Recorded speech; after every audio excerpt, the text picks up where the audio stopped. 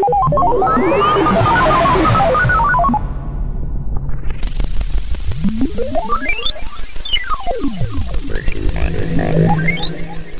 everybody, I'm Allison. I'm Grant. We're with the Winkle, and today we're making a UFO, spinner. Grant, have you ever seen a UFO before? No.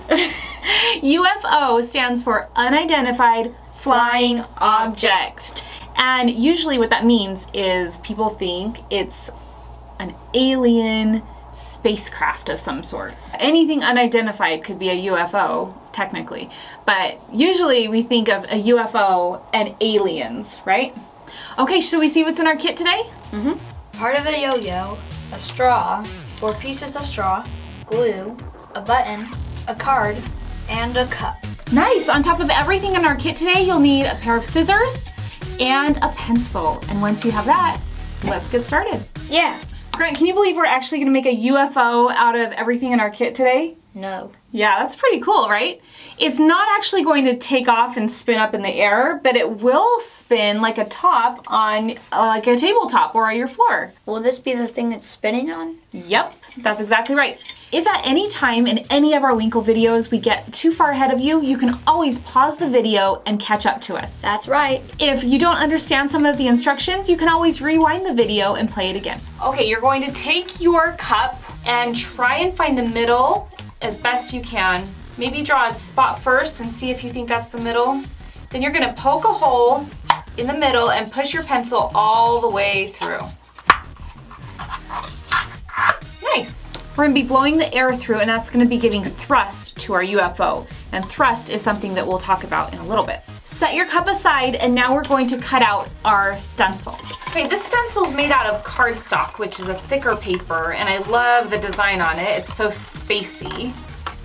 Just cut it out the best that you can, right around that perimeter. Don't cut out the middle. The middle is just going to show us where to put the cup later. So all you need is the circle. While you have your scissors out, let's get those four pieces of straw that you have, just the pieces. The long straw is going to be set aside, and you're going to trim those pieces of straw about a finger length away.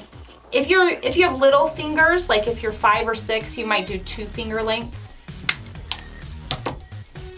from that bendy.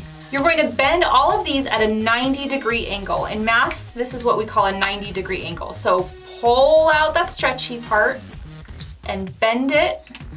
It's like a 90 degree angle is what you find in a square.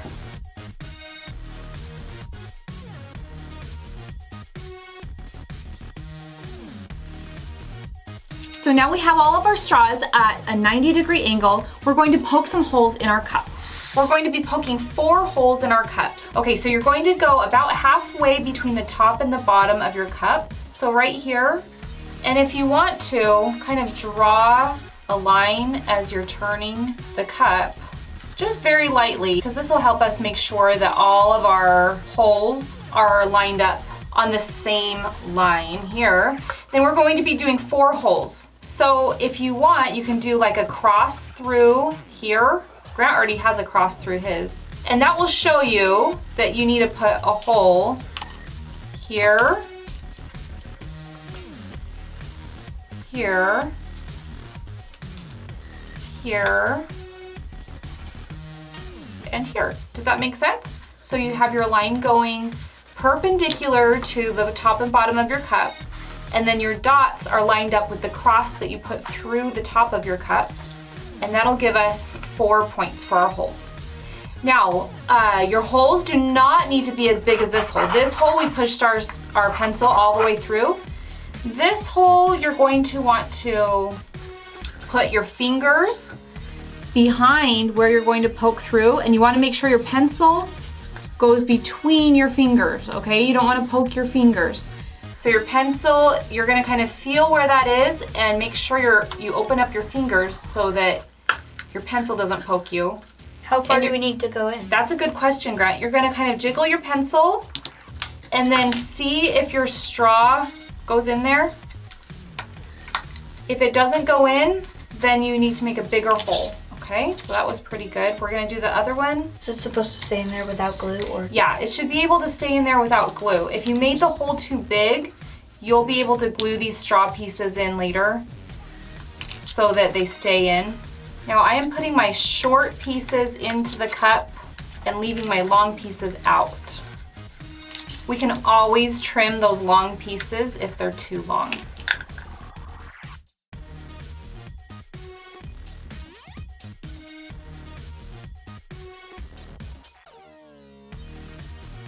Okay, so see here I put the trimmed part, the part that I trimmed on my straw into the cup, and then just, you don't need to push it quite up to that bendy part, just enough to where they kind of are looking at each other in the middle of the cup. That looks pretty good. Let's see yours, Grant. Good, let's get out our glue now. Take the lid off. Sometimes these glue um, bottles can get plugged up or stuck. So if it's plugged up and the glue doesn't come out easily, you can poke it with your pencil or you can give it a little trim with your scissors and the glue should be able to come right out. Now, if you have your holes a little too large in here, you can plug up the holes with some glue so that your um, straw pieces don't move. It also helps later with the science that we're gonna be talking about because you don't want any air to escape other than the air through the straws. So if you have any like cracks or holes or anything in your cup, it's not going to spin properly because we're going to be pushing air through here and the air is going to be coming out through these straws causing thrust. Okay, so you want to make sure to plug up those holes if you have them. If not, don't worry about it. Okay, now we're going to take our yo-yo, putting glue right in the middle of your yo-yo, just a dot. And the middle is pretty easy to find because the spiral. And then you're going to put your button right on top of that. This button is just a little bit convex, which is perfect for our project. What does convex mean? Convex, that means it has a slight curvature to it. Okay, so there's concave, like a bowl would be concave. You can put something in it. Convex is if it's rounded like this, like this button. That's gonna help our spinner spin better on the table. What do we do with this cardstock? Okay, the cardstock, you're ready to move on? The cardstock is going to show you exactly where to put that cup. So the cup should line up perfectly with this circle right here. So we're going to take the glue and just carefully squeeze it out along that line. We don't need a ton of glue, okay? Squeeze it out the best you can, trace that circle. Good, now we're going to put our cup right on that circle. Center it the best you can. Centering means there's going to be an equal space on all the sides. So off center would be if it's over here or over there, but centered means it's an equal space on all those sides. Now we're gonna take our yo-yo and turn it over and put some glue around the edges of that. Okay, you're gonna take your yo-yo and center it again. That word center is very important. When you have something that's spinning, it's very important to have everything centered so it doesn't wobble. If everything is centered, that means there's gonna be an equal space on all the sides of your circle. Make sure your button is in the center still. Centered, centered, centered. Does that look good? Okay, and then what I'm gonna do, this is gonna have to dry for a little bit. What I'm gonna do is put a little tiny bead of glue around my, my yo-yo just to make sure it's gonna stay in place. It's nice and secure. You don't want a ton of glue, just a little bit there. And I'm also gonna put a little bit around my cup on the outside, just like that. Okay, so this part is all about the glue. I have, uh, I've attached my cup to my cardstock, and then I put a little bit of glue around the perimeter. That's optional if you want to make sure it's nice and secure. And on this side, I glued my top to my cardstock. I centered it, my button is glued to my top. I keep calling it a top, it's a yo-yo. I call it a top because it, we're making a top, but it's actually a yo-yo. Gotta get that right. I wanna make sure the straws are at a right angle. Okay, now this is the hardest part of this whole project, is now you have to wait.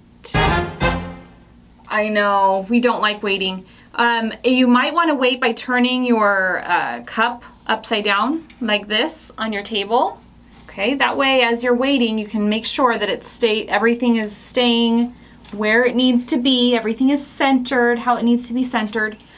So now we wait, probably 20 to 30 minutes, which is a super long time when you're a kid, but go have a snack or go do your homework or something else, and then you can come back and then I will show you how to play with your UFO spinner. Okay guys, it's been 20 to 30 minutes and we are ready to use our UFO spinner. So you're going to take your straw that you have left, stretch it out and bend it. We're going to be blowing into that hole right there on the top of your cup. You're not going to put the straw into your hole. You're just going to be hovering above that hole and blowing and we're going to see how this spinner spins. Ready? Grant, when you're blowing into the hole on the top of the cup, it forces air inside. So all that air inside the cup has to go somewhere, right? It can only hold so much air until it's forced to go out through the straw pieces, all bent in the same direction. As the air rushes out of the cup, it creates a forward motion called thrust. Thrust is pushing force created by energy. Blowing gently or more strong will create more or less thrust. In a real rocket, thrust is created by force of burning rocket fuel that blasts from the rocket engines. As the engines blast down, a rocket goes up. We can't create enough thrust by blowing to overcome the weight or gravity of our UFO, but making it spin is pretty cool though. Every time we're doing a Winkle project, it's very much, I give you the instructions, but you can try and play with it and see what works for you. His is working great. I found that I had to make my hole a little bit bigger in the top with my pencil. I just kind of uh, widened it with my pencil a little more and then it worked perfectly. Also, if it's not spinning properly, maybe the glue didn't dry enough yet, or maybe there's a hole in it somewhere and the air is escaping another area. So there's all those things you have to watch the video, double check that you did everything right, and figure out how to make it work and work the best. Yep. Ready, Grant? One, two.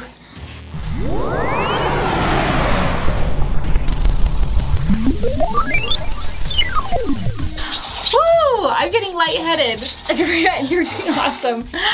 All right, we had so much fun building these spinners with you today, everybody. Have fun. We'll see you next time. Bye. Bye.